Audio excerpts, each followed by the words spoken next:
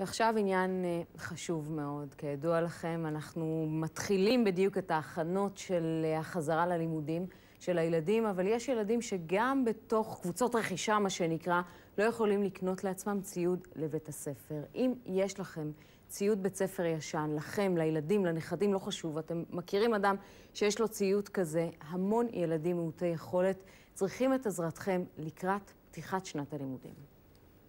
היי, שלום, שמי ישראל, אני מעמותת חסדי נעמי. בימים אלו אנחנו עורכים מבצע של חזרה לבית ספר. אנחנו אוספים ציוד שאתם לא משתמשים בו, וילד אחר אולי כן ישמח להשתמש בו. יש ילדים שאין להם אפילו את הציוד המינימלי לחזור לבית הספר, כמו מחברות, תיקים, עפרונות. אנחנו אוספים בכל הסניפים שלנו ברחבי הארץ את הציוד, ומעבירים אותו למשפחות נזקקות שאין להם את זה.